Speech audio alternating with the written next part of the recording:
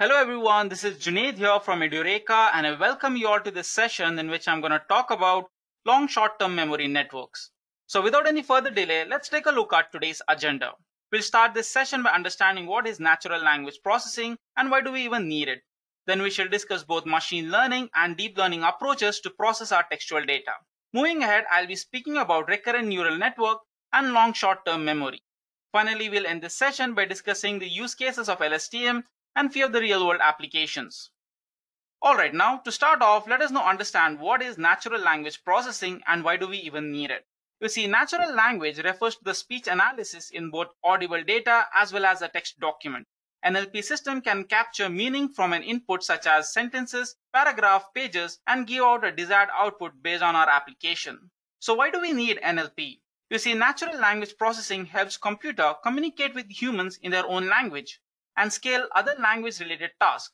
For example, NLP makes it possible for computers to read text, hear speeches, interpret it, measure the sentiment, and then determine which part of it are important. Today's machines can analyze more language-based data than humans, that too with consistency, accuracy, and in an unbiased manner. More or less, we all know that there is a staggering amount of unstructured data that is generated every day, be it from a medical record or to a social media. Automating NLP task will critically be helpful in future for analyzing text and speech data efficiently. So moving ahead, let us now see the ways we can process our textual data. We can process our textual data in one of two ways. One is a machine learning way and other one is a deep learning method. In machine learning, we can make use of algorithms such as bag of words, TF-IDF to classify and predict the desired output. But the drawback of this is that these machine learning algorithms do not consider the context of the word or a sequence. Here, the way it works is on the based on number of times the word is repeating, a probability is derived out of it and then performs a classification task. This is the reason why we have deep learning model for NLP tasks. Speaking about deep learning model, we have something like recurrent neural network, LSTM, transformer network, Google's BERT algorithm, and many more. This deep learning model learns the pattern of a word or a sequence and then tries to predict the desired outcome of the task. We can perform NLP using deep learning in one of two ways. One by pre-trained models such as Google's Word2Vec or global vector models. And the other way is to train our own model. If we are trying to train our own model, it would require a very huge amount of data and also compute power to support it. In most of the cases, we will be using pre-trained models.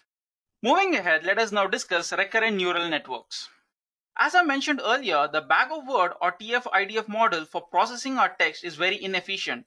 As I mentioned earlier, the bag of word or TF-IDF model that was used in machine learning to process our textual data is very inefficient, as it takes one word at a time and also the context of the word in which it is being spoken about is totally ignored. Although this would give us some prediction, but we can expect lot of loss. This is why we use RNN model or recurrent neural network. Here it requires a sequential data. Now you might be wondering what does the sequential data mean, right? In simple words, sequential data is dependent on the past values. What I'm trying to say here is that we can read our document, right? We can read our document or English documents only from left to right side. Or take example of stock price prediction. We cannot randomly place the dates, right? If you have to make a prediction for next two, three months, we'll obviously refer to the data that was previously recorded. So this is what a sequential data means. So what makes RNN capable of handling sequential data? Well, you see, RNN model makes use of something called a state. This is nothing but a temporary memory that stores the previous data. As you can see here in an image, this is the general architecture of a recurrent neural network. So let me now move to my canvas and show you how recurrent neural network works and what are its internal workings. Alright, so as we have seen in an image, right, back in our slide, you saw that, you know, recurrent neural network have something called as states and then we also had some boxes, right? So what does those boxes represents? So let me quickly draw over here and show you what does this box represents. So if you remember, right, it goes something like we have a box here, okay? And then we also had another box and then let's consider like two more boxes that would be sufficient okay and then the way we provide input for our recurrent neural network is over here. Okay? Now based on our application we can demand our recurrent neural network to provide output in either one of the three ways. It can either be like we can have multiple inputs as you can see here or we can have single input and multiple outputs or the other way around is we can have single input and single output. So here what we'll consider is we are using multiple inputs and also we have multiple outputs. Okay, so now let us see, as this is a supervised learning model, right? Obviously it will have some kind of input and then it will also have labels to clarify the data. So let's take something like if this is our X data, right? So if this is the X data, so let's take this as a list and then over here we'll have data which would represent something like X1, then we'll have X2, then we'll have X3, and then so on and we'll have something like xn okay so what does this x over here represents see here let's take an example that uri which was a movie is a good movie. We can have a couple more x's and we'll just put uh, here as good movie.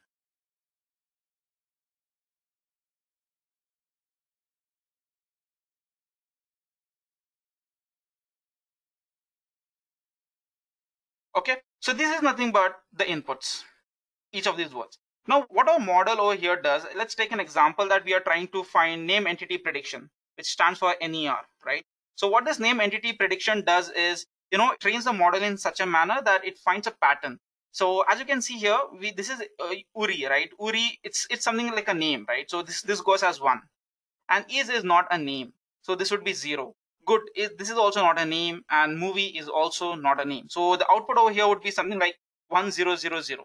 All right. So now let's see what are the inputs and how it would look like. So first off, we have inputs. So if this is our X data, so we'll have input something like Xi. This would be in lowercase.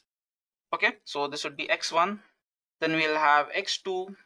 We'll have X3 and then we'll have X4. Similarly, the Y, the output over here would be something like we'll give a Y hat of 1, Y hat of 2, Y hat of 3, at the same time, we'll also have y hat of 4. Now, if you're wondering what does this y hat represents, y hat over here is nothing but predicted values. And y is nothing but, you know, the labeled value or trained values. And now, as we all know that the main thing or the main feature behind recurrent neural network is nothing but the states. And the way the states are represented is by using the state vector, or it can also be called as context vector. So the state vector over here starts with A. Let me give it as a different color here. Let me give it as blue. So here we'll have A and this would be zero. Okay. And now this A would be passed down to this. Okay. So this would be A of one and over here we'll have A of two, A of three, and then finally A of four. I'm pretty sure you might be wondering what does this A contains, right? So over here, as I have mentioned, let me take this very example. So here Uri is good movie okay and so what this a1 will contain a1 will contain uri. See if we take the normal algorithm what's going to happen is it will just consider only this one particular block okay? If this was just a normal algorithm or something which is used in the olden days it will just consider this particular block and it won't be considering the previous values. So, so this previous value is being stored over here in the form of a memory. So now a1 will contain uri and what a2 will contain over here so A2 will be having something like Uri is. And similarly, as it goes through here, it will collect each and every word. And finally, A4 will be complete context vector. So it will have the entire sentence, Uri is a good movie. Okay, I hope you understood what does this A signifies over here. Let me quickly erase all of these. Okay, so the another important part which goes over here in any machine learning or deep learning model is nothing but the weights. So let's consider that we have weights, which is nothing but W, or let's take it as U. Let me give another color here, U, V, and W. In this RNN model, right, what we're going to do is we're going to have a single or we'll have just only one weights, right? So the U weight is same for all of these inputs here. V weight over here is same for all the outputs. The weight W is same for all our state metrics. Okay, so this is how the weights are determined.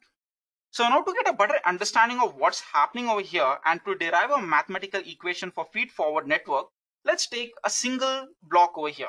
And let's see how this internal working of this is working, okay? So over here we'll have a box, okay? And this will be our input. So let's give our input as x of t because this is a generalized model, right? And now what we're going to do over here is this would be a of t minus 1. That's because a of t will be present over here. And now if we have an output which is present over here, and this would be nothing but y hat of t. All right. So as I mentioned earlier that we will be having weights. So the weights over here is nothing but U, V and W. So what's happening over here? Okay, so first off, there will be a matrix multiplication between these two values.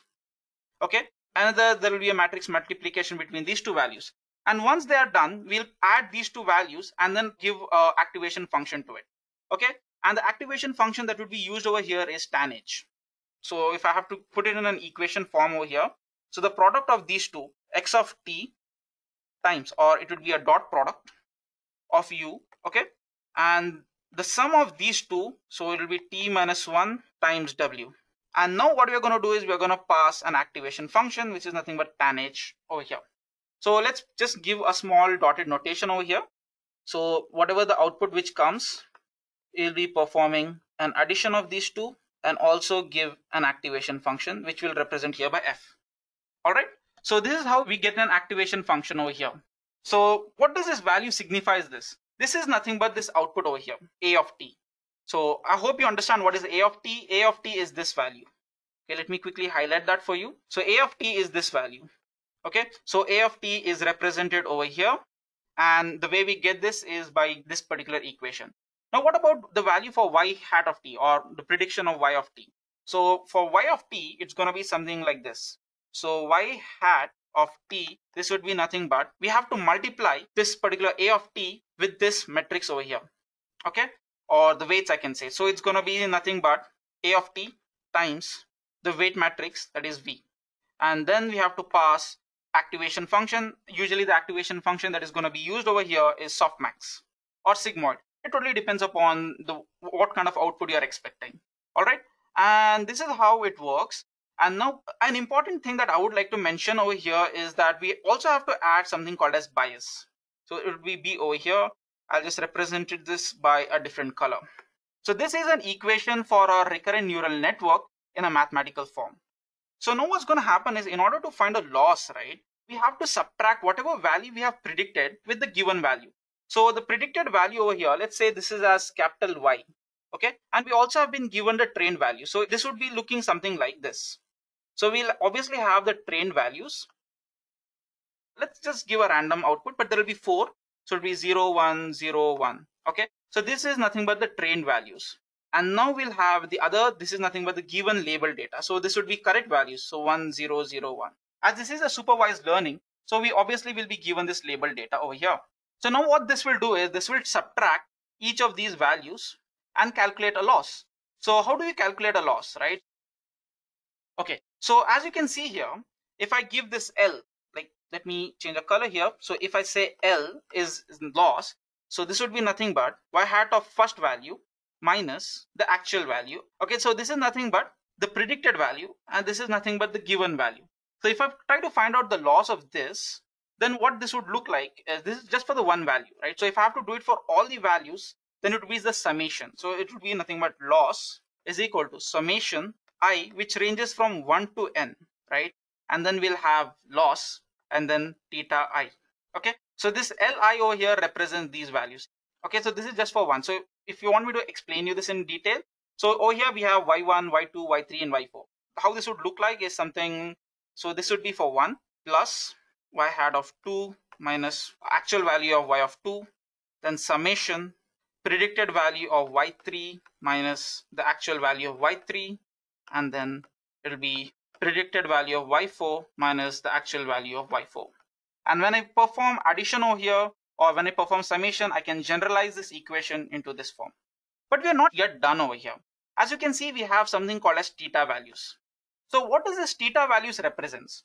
You see, the main agenda behind finding a loss is to increase our accuracy, right? So if I say this is my gradient descent and this is the lowest global minima, right? So my agenda over here is to reach this global minima.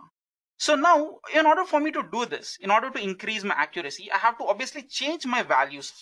So how do I do that? How do I increase an accuracy? It's obviously by these weights. Okay, it's by this W, U, and V. So W, U, and V are nothing but the weights. So what this theta over here represents, let me quickly erase this. Okay, so what this theta over here represents is nothing but the values of W, U, and V. So now what we're going to do is we are going to have a partial derivative of the loss with respect to u and then we'll have a partial derivative of loss with respect to v and then we'll also have partial derivative of loss with respect to w. These are nothing but weights and we are trying to train the weights. This is done in order to increase our accuracy. Okay.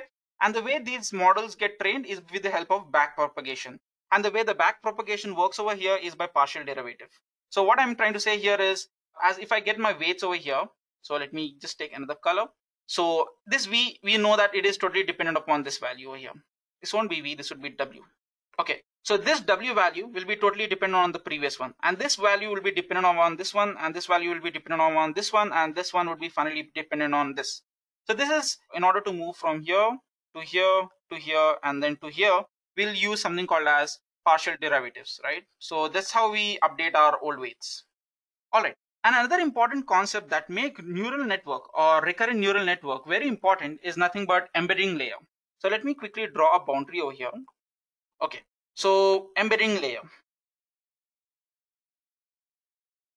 All right, so what does this embedding layer signifies? Okay, so if I take a convention way, right? So like, let's say that, you know, our X or, you know, our input over here, this is nothing but X over here, right? So the, what is the dimension or the shape of this X?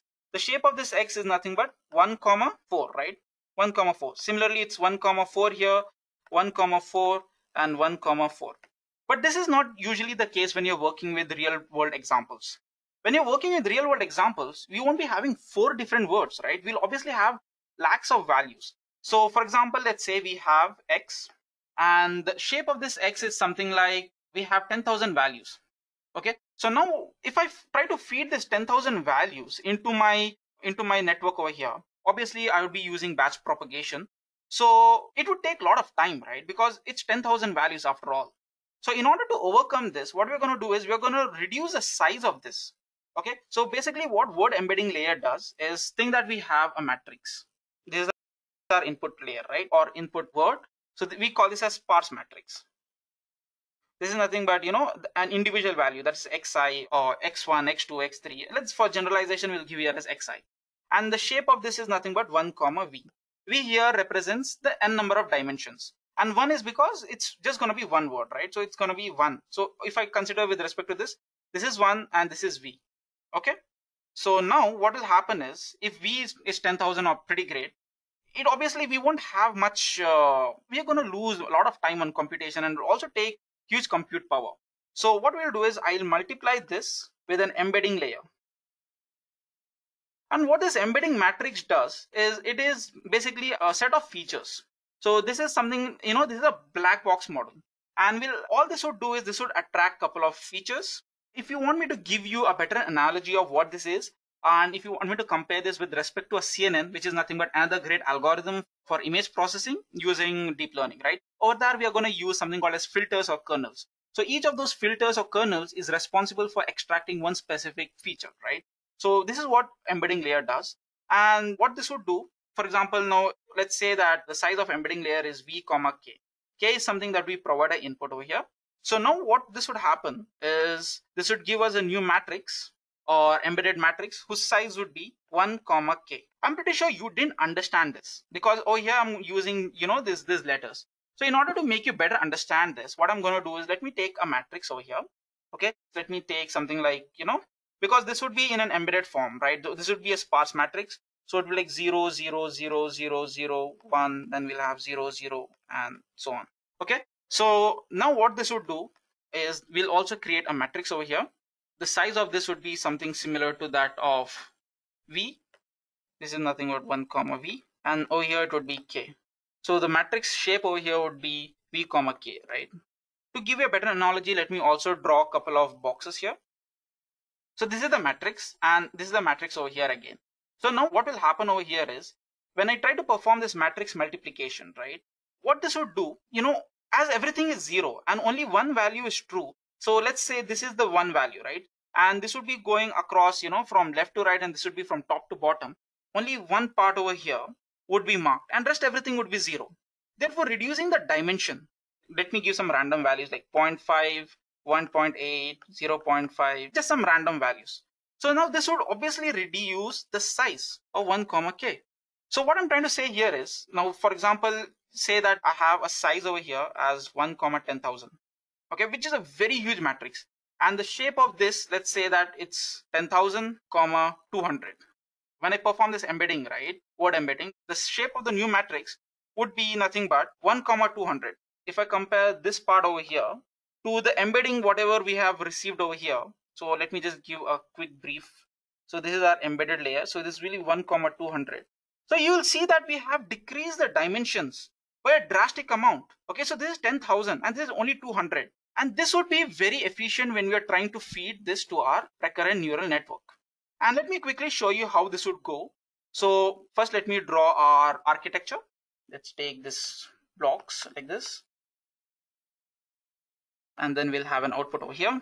Okay, so this would be our inputs, right? So let me give something like this. So initially, we used to provide x values over here, right? Now we won't be doing that. We won't be providing any x values directly. Instead of that, what I'm going to do is I'll have an embedding layer over here. And this will have the x values. So let me give here as x of 1, so x of 2, x of 3, and then we'll have x of 4. And then similarly, let's take this model to be multiple input and single output. So here we'll have y hat of t, and then we'll have weights obviously. So this would be u, v, and w. And this is nothing but our matrix over here. So this would be a of 0, a of 1, a of 2, a of 3, and finally a of 4. Okay, so this is our context matrix. And obviously we'll be performing an activation function here. So I'll just give it f. You can put f, you can put g, it's totally up to you. So this is how a recurrent neural network would actually work. All right. So now that we know how RNN works, let us now understand what is LSTM, or we can also say it as long short-term memory. You see, traditional RNNs are not good at capturing long-range dependencies. What I mean to say here is that when we tend to work with a very huge data set and multiple RNN layer, we are at the risk of vanishing gradient problem. Now you might be wondering, what is this vanishing gradient, right? Well, you see, when training a very deep neural network, gradient or the derivatives decrease exponentially as it propagates down the layer. This is known as vanishing gradient problem. These gradients are actually used to update the weights of a neural network. But when the gradients vanish, these weights will not get updated. In the worst case scenario, it will completely stop the neural network from training. This vanishing gradient problem is a common issue in very deep neural networks. So to overcome this vanishing gradient problem in RNNs, long short-term memory was introduced. You see, LSTM or long short memory is a modification to RNN's hidden layer.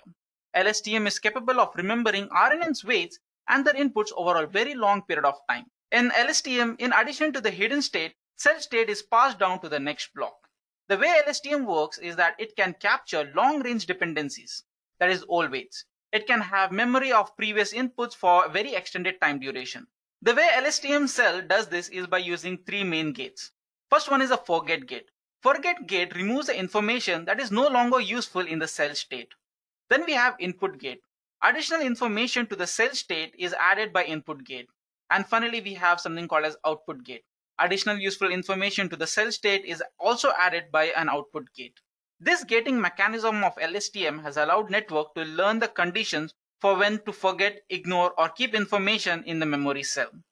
So let me now quickly move to my Jupyter notebook and show you how I can implement LSTM on name entity prediction.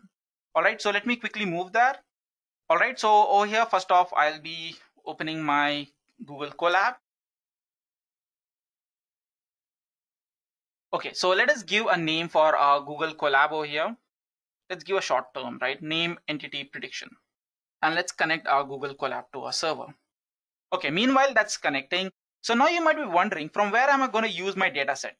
So for me to use my data set, I'll just go for Kaggle, K-A-G-G-L-E, baby names. So let me just quickly show you how this data set would look like. So this is a CSV file over here. All right, so as you can see here, we have over 93,889 unique values. Okay, so this is a very huge data set. And let's try downloading this. To download this is pretty simple. All you need to do is click this and it will get downloaded. As I've already downloaded this file let me quickly upload this on my Jupyter notebook. So let me go here and upload it from here. Okay, so let me go to this upload file. And yeah, so I have my CSV file here. And let me open this. As this is a pretty huge data set, it would take some time. Meanwhile, that's loading. Let's see what we can do. So first off, let's import a couple of libraries. So we'll have import pandas as PD, and then we are going to import numpy as np, and then we also need to have matplotlib. So from sklearn all right and we also need something like label encoder but i'll show you a shortcut way to you know bypass label encoding okay so let's try to load our cell here. And in order for us to read this data so it's pretty simple. All we are going to do is let's give this as a data. This would be nothing but pandas dot read csv and then we are going to pass our file name. Let me change this to our root directory. We're putting a dot over here. Okay so i won't be executing this as of now because it's trying to load our file. All right, so now that we have successfully loaded our data, so let's try running this cell over here. Okay, so let me close this and let me zoom in over here. So now what we are going to do is let's see the shape of our data. So let's see what's the data shape, data dot shape, and now let's see what it would be like. Okay, so as you can see here, we have five columns, but the number of rows that we have is 1.8 million. That is approximately 18 lakhs, right? So this is a pretty huge value. So now what we're going to do is we'll just see how our data is looking like. So we'll see data dot head and let's see what we need. So as you can see here, we have ID, which is of no use for us. Then we have name. Okay, then this year, I don't think it's of any use for us. Then we have gender and count. Count here represents, you know, how many people have the name Mary, how many people have the name Anna, how many people have the name Emma, Elizabeth, and Minnie this over here out of this if you see right there are a couple of things that we don't need. We can drop them out. You know all we need is a name okay? And then we also need the gender. Because this is going to be our prediction. We are going to predict uh, we'll give our own custom name and then we'll see whether the name that is are giving is a male or a female okay? So now what we're going to do is let's see how many unique values we have. So let me quickly erase this first. Okay so what i'm going to do is data dot names so this should give us here name and then we'll type here as unique. Okay, so this would give me unique values. Okay, so over here I have 93,889 unique names. Okay, so now what we're going to do is we want to label encode this, right? So we want our female, or which is nothing but F, we want female to be zero and then male to be one or vice versa. So in order to do that, either we can use label encoder or there's a shortcut method to this. Let me quickly show you how that works. So first off, we'll take our data frame. So it's data and which column we want to do this for? We want to do this for our gender column, right? So let me pass this and give gender. And now what we're going to do is, okay, we'll take this as as type. Okay, this would be obviously in the form of category. And now what we'll do is this is cat dot codes. Okay, so this is nothing but panda shortcut, you know, do label encoding. Let's try to execute this and see what it would look like. So as you can see here, we have a couple of zeros and you know ones. This is nothing but it's representing females with one and males with zeros. Okay, so now what we'll do is we have to update this column. So we'll paste this and this should be something like this over here. And let me execute this. Okay, so if you want to see how our data would look like now, let me just quickly run this once again. So you'll see here now the values has been label encoded okay? So now what we're going to do is we obviously need to take the unique names right? And then we'll obviously group it by right? So what we'll do for this is we'll take something like data. We'll group this by the names. So group by names. All right and now what we'll do is we'll calculate the mean of the genders. We'll reset the index. The reason why we want to reset the index is because you know uh, if we don't give the index then our name over here will become the index right? So we'll give reset underscore index. All right, so let's give this to a new data frame and we'll call this as df. Okay, let me execute this now. And let's see how this df would look like. Okay, let me execute this right after this. So as you can see here, it has grouped by, by names, all everything in an ascending order. So this is all in an alphabetical manner. And yeah. And now only thing that I want to work on is this gender. Okay, The reason is because over here I'm getting a floating point value. I don't want this floating point value. I want to change this to uh, integer value, right? So what I'll do is df gender. This would be nothing but df gender. Then I'll all I'm going to do is as type. I'll just put here as int. So let's now see what this value would look like. Fantastic. We over here have now, you know, ones and zeros, which is nothing but an integer value. Okay. So if you want to see this, so either I can write df or I can also put as head. Okay. So these are the first five values. Okay. So now the way our neural network is going to work or the recurrent neural network is going to work is that, you know, I hope you remember these boxes, right? So when I was talking or when I was explaining this RNN, I was saying that I would be passing around the words. But here in this project or in this program, we won't be passing words over here. You know, we won't be passing like Abha or Abida or Adam. We won't be passing these words. Instead of that, we'll be passing letters. So over here, it's going to be like alphabets. So A, B, it can be any alphabet, it can be Z here. So basically it depends upon whatever the value is coming here. So in order to do that, we have to find number of unique alphabets. So we know how many unique alphabets we have, right? So we, it's 26. So in order to get these alphabets, what we'll do is, let me first quickly erase this. Erase all drawing. So now we have 26 alphabets. We have to create our own vocabulary. So what I'm going to do is I'm going to import string so now I need letters, right? So L-E-T-T-E-R-S, this would be nothing but list of string dot ASCII. Okay, and if you want to see what this would give me, this would be nothing but the list of alphabets which are in lower cases. Okay, and now what we'll do is we'll try to create a label encoding or we have to create a vocabulary, right? So we'll have something like vocab. This would be nothing but I'll be using dictionary. And now what I want is zip the way I want over here is, you know, for every individual values of this A, B, C, D, I want to label encode this to 0, 1 and whatever the value it is, right? So it would be from 1 to 27, uh, unique numbers, right? So this would be nothing but letters and then uh, we'll, we need something like uh, range 1 comma 27. So this would give me the matrix from 1 to 26, right? And let's now see what this would look like. So we have vocab and let me execute this. This should give me a dictionary. Okay. So here we'll convert A to 1. Okay. And then B would be 2, C would be 3, and so on. Z would be 26. And now what we are going to do is uh, we'll just try to create the reverse vocabulary. And the reason is we obviously won't be needing this, but uh, you know, just in case if you want to use, it should be something very similar to this. Let me just copy the exact same thing and paste it over here. So we'll just give it as reverse, right? So it will be r underscore, r underscore. And here instead of numbers being second, we'll just cut this letters and we'll pass letters over here. And now you'll see if you're trying to decode whatever we have predicted, you know, we can just pass it down like this. Okay, so now what, what will happen is we need to do something like, you know, all our data, whatever is there, we have to convert them into a lowercase. So, and then once we convert them into a lowercase, we have to encode them into numbers. So whatever I'm saying is this AABAN, right? A ban. So we this AA obviously first of all we have to convert all of this into a lowercase, you know, this value.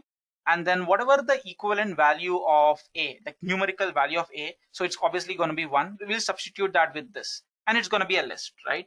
So how do I do that? So for that, I'll write a function. So we'll have def word to number, right? Word to so now what I'm going to do is I'm going to have for loop for i in range. So this would be nothing but we have to go through the entire shape, right? So df dot shape. This would give me a list and I just need the first index. Okay. So now what I'm going to do is I'll create one new list sequence. This would be nothing but for letters in df. Obviously we want the names part and in this we are going to pass the index value it's going to be i let me just give some space here just so that you better understand this and now what i'm going to do is you know i have this vocabulary vocab see every time i pass a letter it will convert it into you know this individual letter it will convert it into a list or the equivalent you know numerical representation it will be letters and obviously it has to be in lower so it will be lower and then we'll just close this bracket here so now what we are going to do is before we execute this function, we'll have to append this. So it will be df and this is going to be names dot i. We'll replace the name in that index with this particular sequence. Okay, so now all we need to do is run this function over here. And yeah, this will take some time. The reason is because we have almost around 18 lakh values. So yeah, this will take some time. Meanwhile, let me just comment this.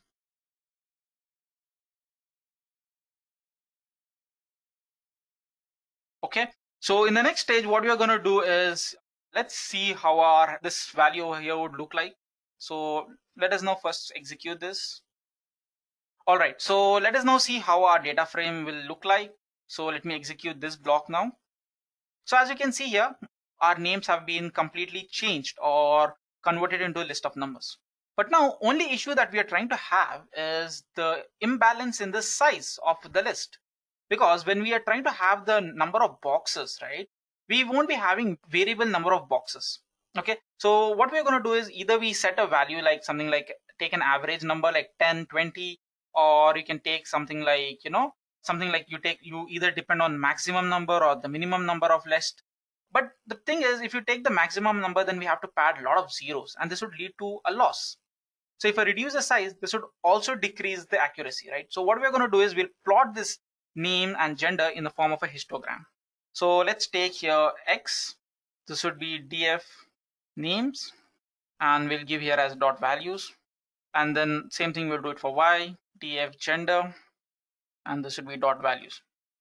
So eh, what we'll do is we also need a list. Okay, so now as we are going to plot this on a histogram, and what we are going to see in the histogram is just to analyze, you know, this this is a graph. We want to analyze, you know, where does the highest number of sequence or if suppose this is a size, if this is size 8 and this is like 8000 words or 8000 names have the size 8, then you know we can keep our average somewhere near and then we can also decide, you know, if if the number after 10 if not many names have a longer number or the longer length of that name, you know, so we can keep our average somewhere around 9 or 10. Okay, so let's now quickly see how we can do that to get the length of our names. So length x or name length this would be like list comprehension for i in range 0 comma df dot shape of 0 and now what we're going to do is we need to find the length. So this would be length x of i. Over here you can either give df or you can also give this x right? So it would be length of x. Okay so let me quickly execute this. Okay so here we're getting an error. Oh yeah. It's not oh it's going to be zero right? So let me execute this now. Okay so let me show you how this would look like. Name length and let me print this off. So as you can see this is giving me list of names so there are a huge amount of names. So as you can see first we had five five and then nine. So let's now plot this and see how it would look like. Import matplotlib splt all right this is perfect. So now what i'm going to do is i have to plot this right? So all i'm going to do is plt.hist all right and now i'm just going to give name length and number of bins. This would be like let's get 20 okay?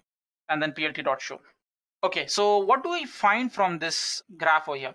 You see this is nothing but the length of the names. So 2 4 6 8 12 all these are the length of the names.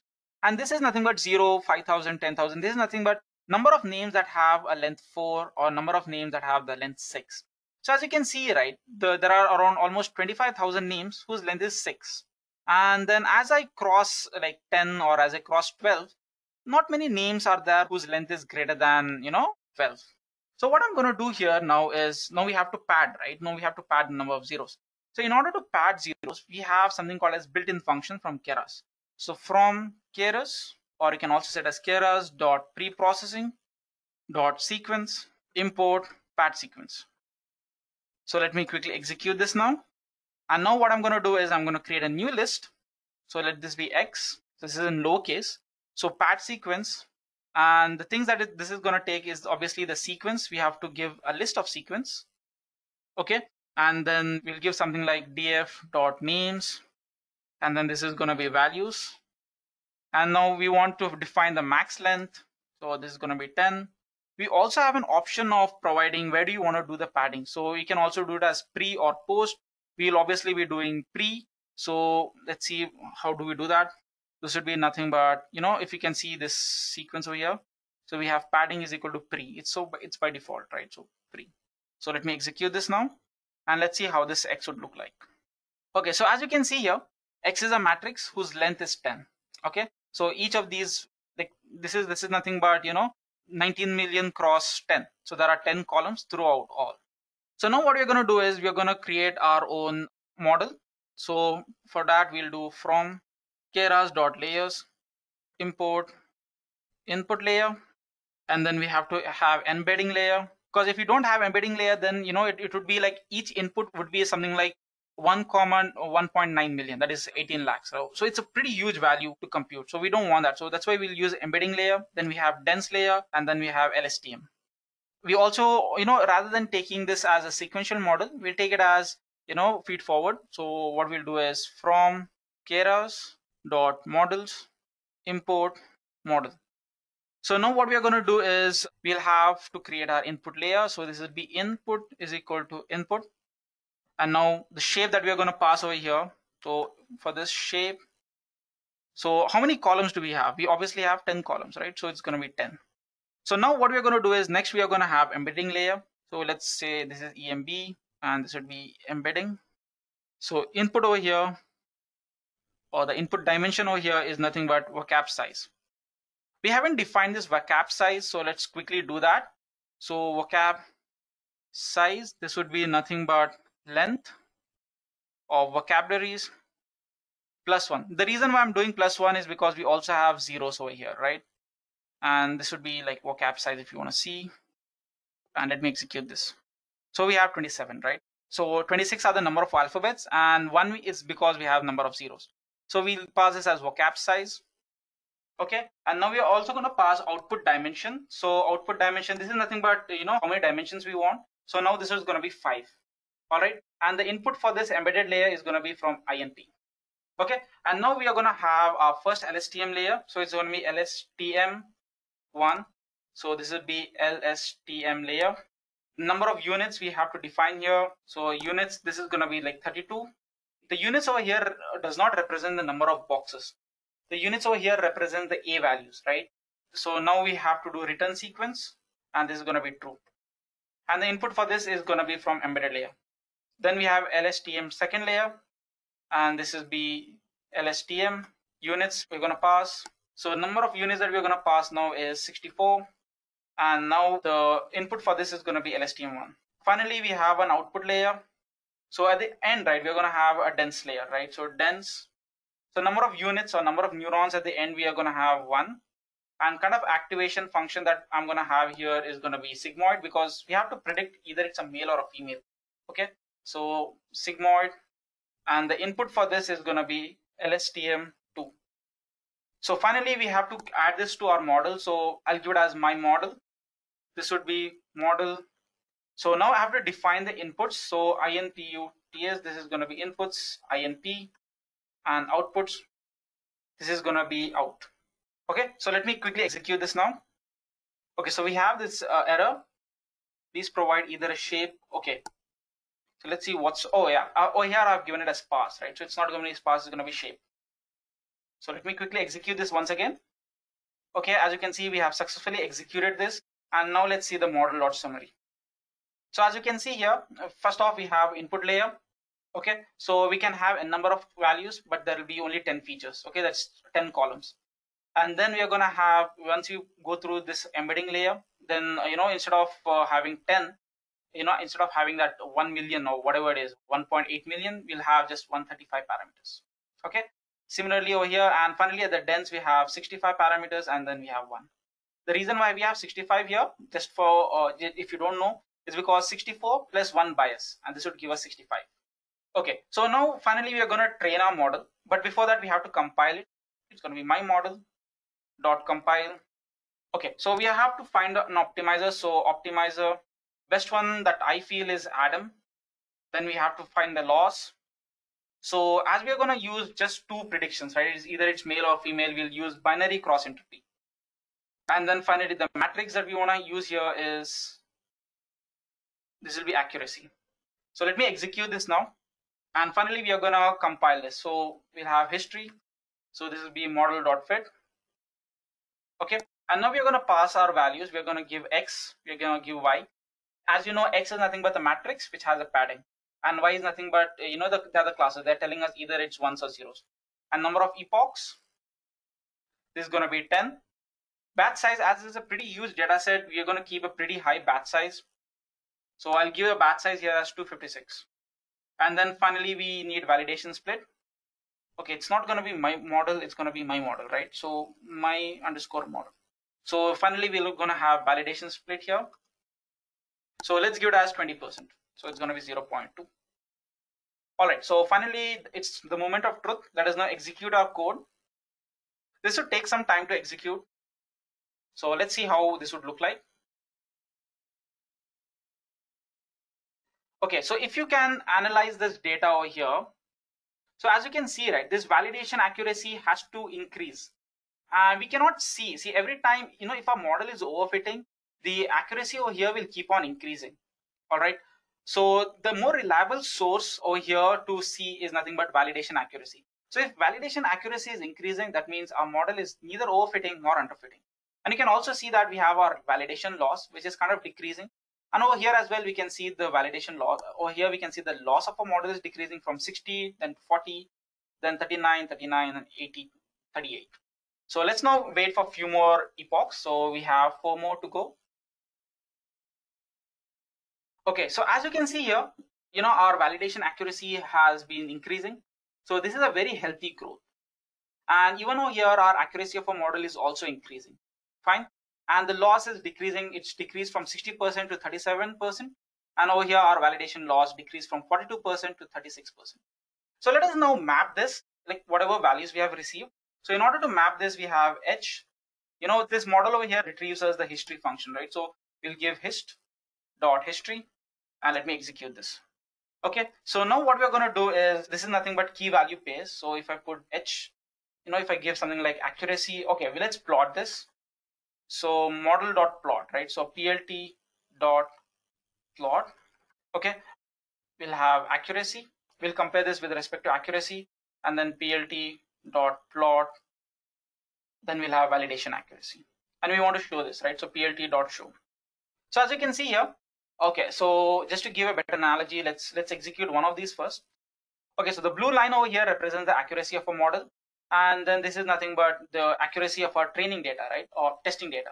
So as you can see, our model accuracy isn't decreasing. So it's a very good model and it has trained very well. So now coming down to the moment of truth. So let's now, you know, take a random name and see whether it can predict whether the name is true or false. Okay, so we'll give here as test underscore name. So let's give something like, you know, will this will be like name, right? So we'll give name dot lower. And now we are going to pass the name over here. So this would be, let's say, Tom. Okay. So we have to convert this into letters, right? So it will be vocab of I for I in test name. And now uh, we'll give the name here as X test. So this would be nothing but we have to pad the sequence, pad sequence. We'll pass this in a form of a tuple. Then this would be SEQ. And then we know that we have to pad 10, right? And anyways, we don't have to say whether it's pre or post because by default it's going to be pre. Fine. So let us now see how our text data would look like. So X test string attribute has, okay. Oh yeah. So I have done a typo over here. It's going to be L-O-W-E-R. So let me execute this once again. So as you can see here, we have a matrix which has a size of 10. And let's now see uh, what this would predict. So it's the moment of truth. So y dot predict. This would be model dot predict. And I'm going to pass here as x test and let's see what does this predict. So we'll give here as ypred and yeah let us execute this. Okay so we are getting this in a form of an array. So what this tells us you know this tells us that you know this is like 70 percent chances that this name is tom. In order to make this you know layman stuff so what we are going to do is we'll have if ypred let me execute this first. So let me go down to another block. So this would be something like if ypred is less than 0.5 then we'll say the name is female okay else print name is masculine or name is or we let, let it be male okay So same thing over here, we'll just keep it as male. So let's now see what this thing predicts. Okay, so this thing predicts male.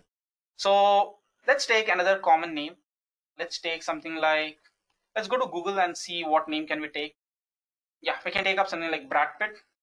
Okay, so let's execute this and let's execute this again and then this. So as you can see here, this is giving me a male name. And let's give a female name over here. Let's give as Mary and let's see whether this would predict it as male or female. So as you can see, here, it's female. Now, as if you have seen the data set, right, it says this is the name from the US kids, right? What about what will happen if I give an Indian based name? So let me give an Indian based name like Priyanka and let me execute this. It's giving me a female name, right? So this is something pretty astonishing, right? So why do you think it gave me a female name? Well, the reason is because when we are training this model, like RNN, using RNN, right? It's not looking at the name. It doesn't know whether the name is female or not. But as a matter of fact, it is looking at the pattern. Okay. So it might be looking at, you know, if the name ends with so and so, it is a female. If the name starts with this, or if a name have something like this, it means, you know, it's a female or a male. So to give you a better analogy, let's give something like Julia. So let me execute this this will give me a female, right? So what if I give something like Junaid? This would give it as male. So all it's trying to do is it's trying to see, you know, uh, recognize a pattern. That's why it's taking individual words at the same time. So this is what makes NLP using LSTM very effective. All right, so moving ahead, let's see some of the LSTM's use cases.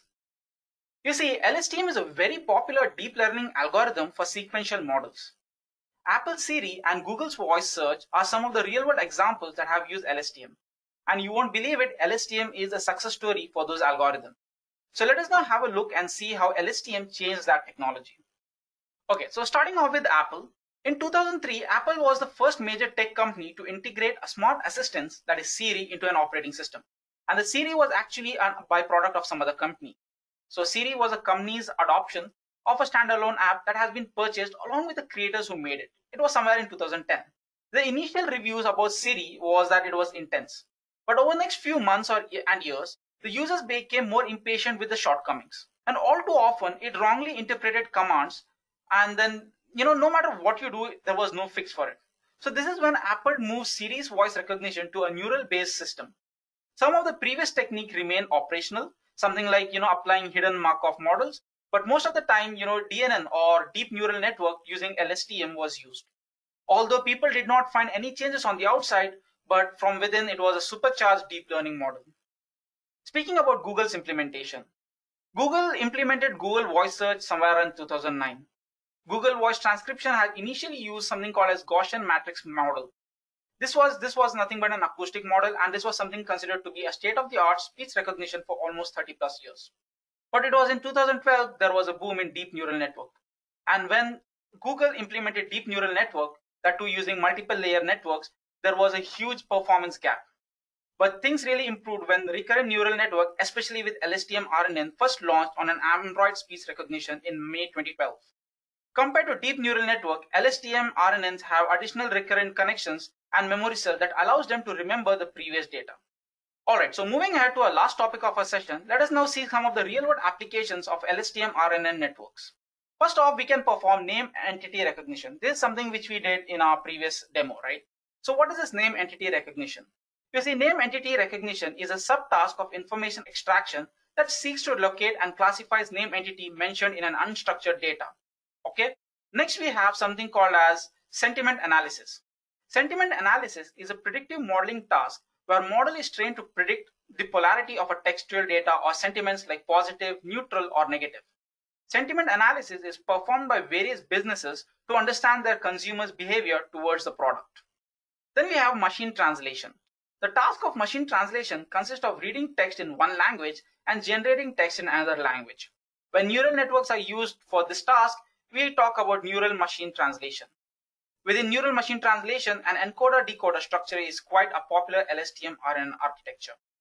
Alright guys, with this we come to the end of our session. I hope you enjoyed and learned something new. If you have any further queries, please do mention them in the comment box below. Until next time, goodbye and take care.